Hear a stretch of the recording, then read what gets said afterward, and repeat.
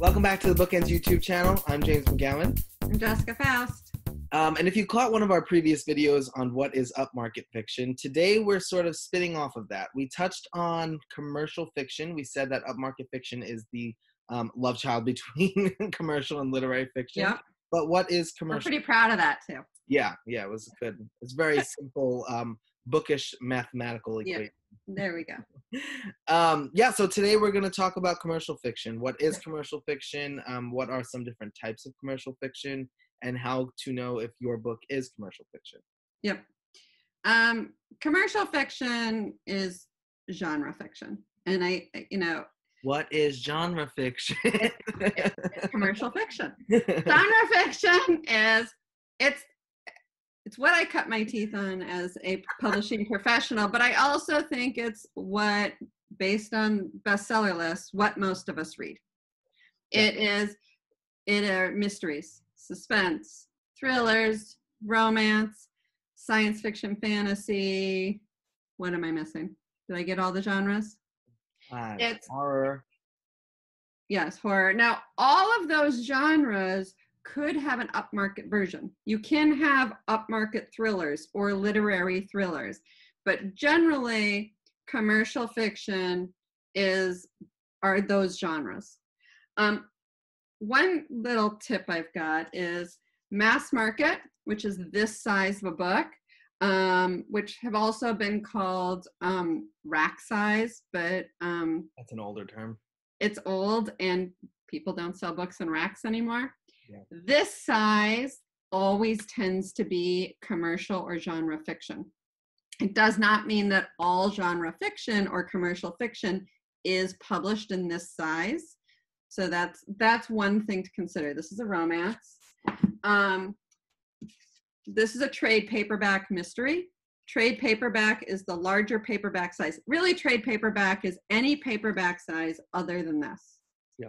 This is a mystery. This is also commercial. Um, and then commercial fiction can also be done in hardcover. This is an example of um, commercial fiction. This is another mystery that was published in both hardcover, and then a year later, it was published in a mass market paperback. Sometimes they will be published in a trade paperback.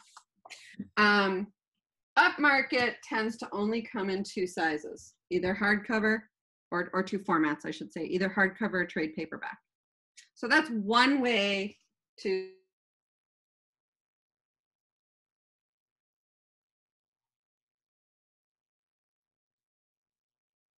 and mass market, hence the word commercial. Um, can you hear me? yeah. Okay. Um, you cut off. How did I cut off? I have no idea. You froze. You when you were holding up. Yeah, you said that's one way, and then you froze. For what was it? You were Um, holding up Melissa. okay. Ah, maybe I'll just leave this in. The troubles of Zoom. Okay, so yes, leave it in, and here we go. So that's one way to tell what a book fits. Ultimately, though, um, commercial fiction is really it's it's all in the word. It appeals to a larger mass market, mass audience, commercial audience, and it's where all the genres fall. Yeah. Now, you can have a literary thriller that's published as literary fiction. It's considered literary.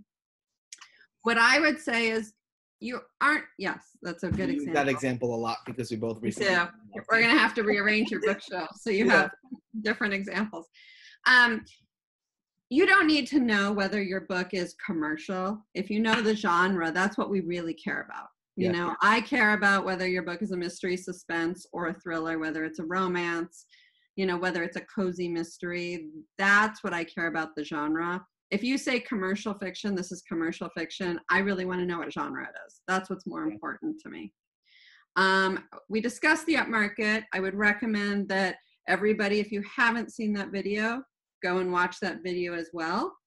But as James already said, upmarket is sort of the love child of literary and commercial.